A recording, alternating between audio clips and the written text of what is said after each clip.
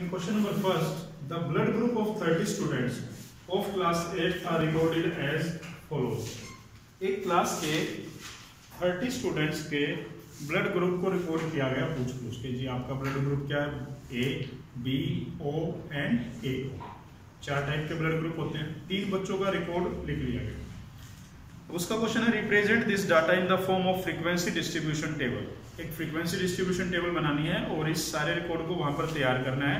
What is the most common and sorry which is the most common and which is the rarest blood group among these students ये question हम बाद में जवाब दे पाएँगे। सबसे पहले blood group first heading second one telling marks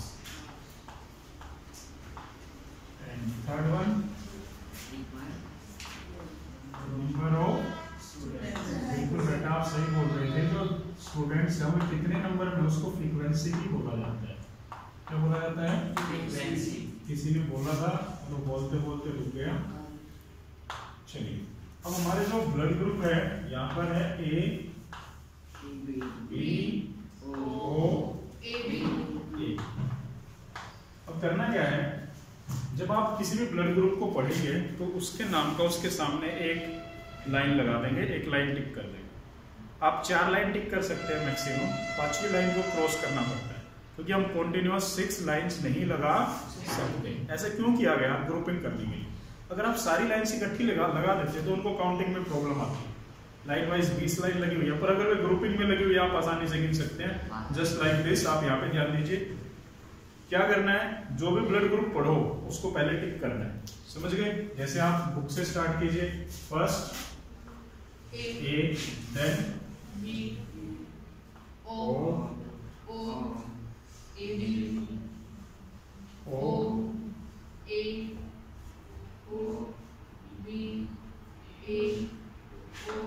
अब देखिए ओ फाइव हो गए इनको क्रॉस कर दिए। हो गए फाइव अब ओ के बाद बी ए ओ अब दो मिनट। क्या पता हमने कोई मार्क गलत लगा दिया हो। अगर हम सारे काउंट करके मैच करेंगे तो हमें पता नहीं होगा गलती कहाँ हुई। अगर हम इनको अभी काउंट कर लें तो हमें पता चल जाएगा कि पहली रो में गलती है। हम उनको साथ के साथ करेक्ट कर सकते हैं। हमने कितने मार्क्स लगा लिए? फिफ्टीन ठीक है? फ़र्स्ट रो में काउंट कीजिए। फिफ्टीन ही है। Yes, चले आगे। Yes, अब हर एक मार्क फिर से ऐसे लगाएँगे। फ़र्स्ट ए बेटा शांति से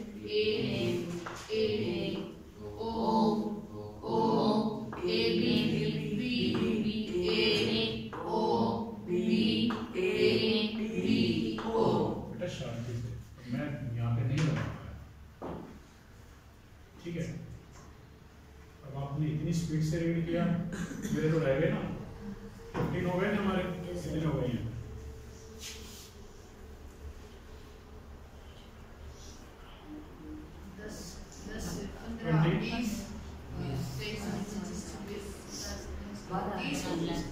तीस हो गए पूरे अब लास्ट के जो तीन बचे हैं वो बोलिए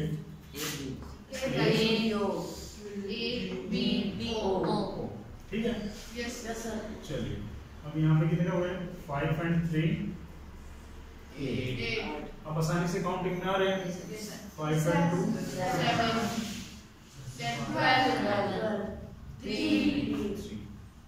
अब लास्ट में लिखिए अपनी टेबल मैच कीजिए इज़ इट करेक्ट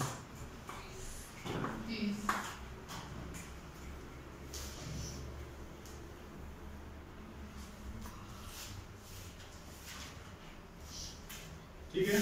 सारी जानकारी है कोई प्रॉब्लम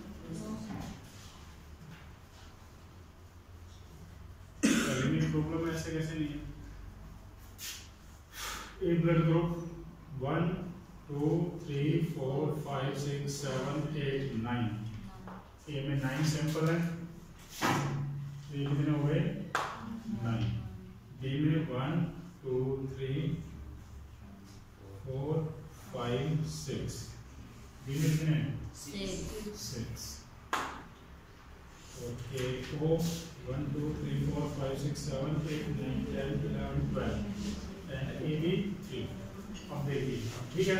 सर आप ये six रहेगा सर पहले पाँच में भी वाला हाँ बिल्कुल वो चेंज करना पड़ेगा सिक्स कोई प्रॉब्लम तो बेटा थोड़ा आराम से बोलें आराम से हर एक मार्क को लगाएँ। अगर एक भी गलत लग जाता है तो वो टेबल गलत है आपके क्वेश्चंस भी गलत होते हैं। अब उसके कुछ क्वेश्चंस हैं। पहला क्वेश्चन है which is the most common common मतलब कौन सा। सबसे ज़्यादा मिलने वाला ब्लड ग्रुप कौन सा है?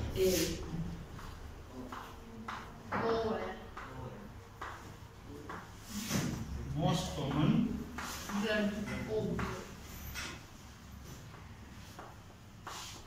O the next one is rarest blood group rarest है दुर्लभ जो आसानी से नहीं मिलता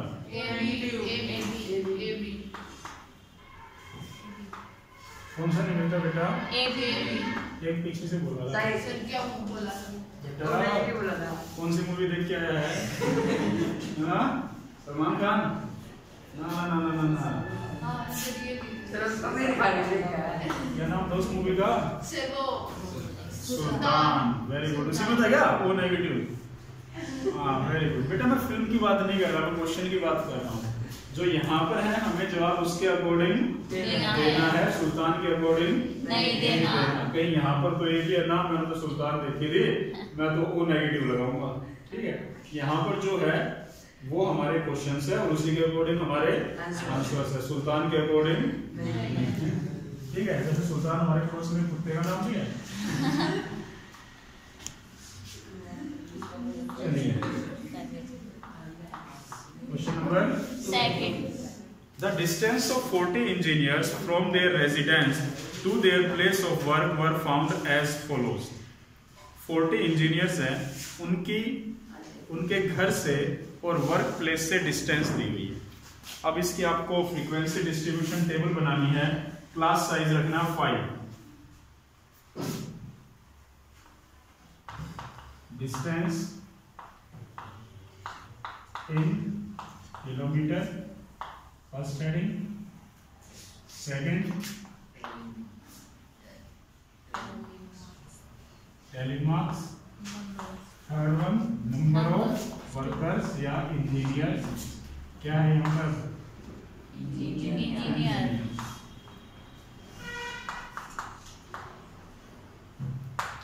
चलिए इसने कहा फाइव फाइव का गैप लीजिए फ्रॉम ज़ीरो टू फाइव इस तरह से सबसे बड़ी डिस्टेंस क्या है। हमें वहाँ तक काउंटिंग करनी पड़ेगी। मुझे 18 दिखाई दी 25 भी है। Thirty. 32 भी है। 35 भी है। चलिए। 32 तक तो दिखा है 35 भी zero to five five to ten to twenty five Twenty-five to thirty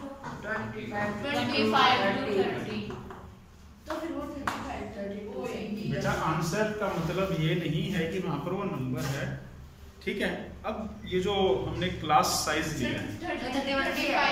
thirty five भी है थर्टी अब जो ये क्लास आपने इंटरवल लिए हैं इस क्लास इंटरवल में ज़ीरो टू फाइव का मतलब है इसके अंदर फाइव इंक्लूड नहीं है। फाइव कहाँ पर काउंट होगा? फाइव टू टेन का मतलब है इसके अंदर टेन काउंट नहीं होगा। सेम सभी के लिए। अब क्या करेंगे? आप ऊपर से नीचे फोर फोर के पेयर में पढ़ेंगे और धीरे धीरे ताकि सभी मार्क लग जाए। बुक में भी ध्यान रखना है और बोर्ड पर भी। Five nineteen seven twelve five को किसमें लगाएँगे? फ़र्स्ट में सेकंड में? नाइनटीन यहाँ पर? Seven and next one twelve हो गए three ten nine fourteen three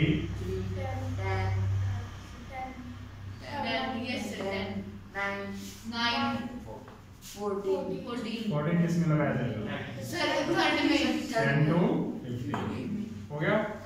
Ten twelve seven to ten किसमें लगाया? ट्वेल्व सेवन और टू हो गया? Twenty seventeen eight nine twenty fifth में। सेवनटीन फोर्थ में। Eight eight second nine second second नहीं आप इस तरह से बोलेंगे सर फाइव टू टेन जो क्लास इंटरवल है उसमें ठीक है? नेक्स्ट कहाँ तक हो गया हमारा?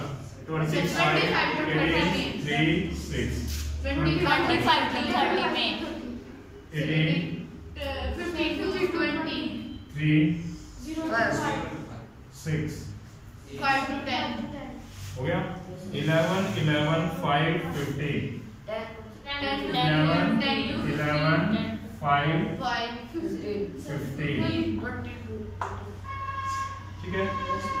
13, 32, 12, 15. 13, 32, 12, 15. Fifth line goes. Did you get it? 7, 17, 15, 7. 7, 5, 10. 7, 17, 15, 20. 15. 15, 10, uh, 15 to 20. 7, 5 to 10. Next. 12, 16, 6. 12, 10 to 15, 16 to 10 to 20, 18 to 20, 6 to 10, 31, 30 to 35, 0 to 5, 3, 0 to 5, 12, 10 to 15. चलिए अगर सभी लग गए हैं तो हमें टोटल करना पड़ेगा। पहले हम चेक करेंगे। ये कितने हैं पाँच ग्यारह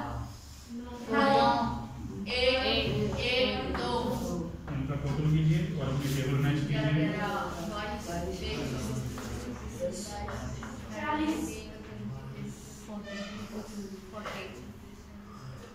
चालीस टोटल चालीस है ऊपर देखिए वर्कर्स कितने बताए गए हैं। चालीस तो कुछ तो चांसेस है कि टेबल ठीक है अब अपनी आंसर मैच कीजिए कोई फ्रीक्वेंसी गलत तो नहीं है? नौ सौ सभी करेक्ट है? अब आगे क्वेश्चन ग्यारह कीजिए। ग्यारह नौ एक एक नौ। ठीक है sir What main feature do you observe from this tabular representation? इस tabular representation से आपको कौन सा गुण दिखाई देता है? आपका ध्यान कौन से करेक्टरिस्टिक पर जाता है? अपनी तरफ़ से बताइए। जब हम किसी के घर से कितनी दूरी है तो क्या अंदाज़ा लगाएँगे? हम ये बताना पसंद करेंगे कि ज़्यादातर आदमी इतनी दूरी पर रहते हैं या ज़्यादातर आदमी इससे कम दूरी पर रहते हैं या इससे ज़्यादा दूरी पर रहते हैं? तो डिस्टेंस से तो यही लॉजिक है। अब मैं आपसे पूछूँ बेटा कौन सबसे ज़्यादा दूर से आता है? तो, तो इसी के अकॉर्डिंग हाथ उठाएँगे ना सर मैं उस गाँव से आता हूँ मेरी डिस्टेंस ज़्यादा है मैं उस शहर से आता हूँ मेरी डिस्टेंस इतनी है। तो यहाँ पर अगर हम इस टेबल को ध्यान से देखें तो ज़्यादातर वर्कर्स कहाँ तक कवर हो जाते हैं? ट्वेंटी किलोमीटर तक मोस्टली वर्कर कवर हो जाते हैं। तो सबसे ज़्यादा वर्कर हैं वो वर्क प्लेस से 20 किलोमीटर तक की दूरी पर ही रहते हैं। बहुत कम वर्कर है जो 20 से ज़्यादा किलोमीटर की दूरी पर रहते हैं। ठीक है? आप अपने अकॉर्डिंग कोई और जवाब भी दे सकते हैं। मुझे ये बताना अच्छा लगा। आप कुछ और बताना चाहे तो आप वो भी बता सकते हैं। Most of the workers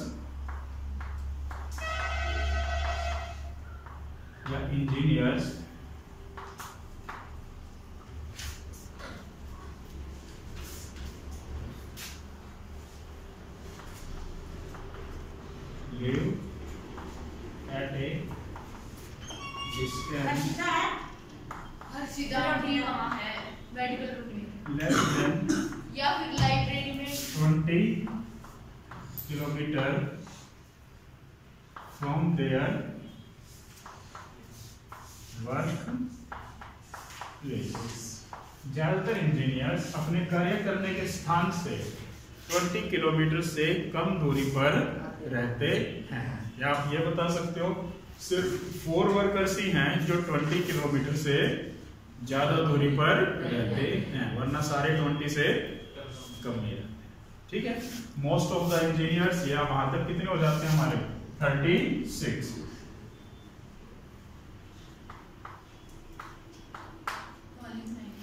यहीं पे लिख दो 36 इंजीनियर्स ठीक है? तो आप यहाँ पे भी लिख सकते हैं अगर नंबर्स बताना चाहें तो। कोई प्रॉब्लम नो सर चलिए नोट कीजिए।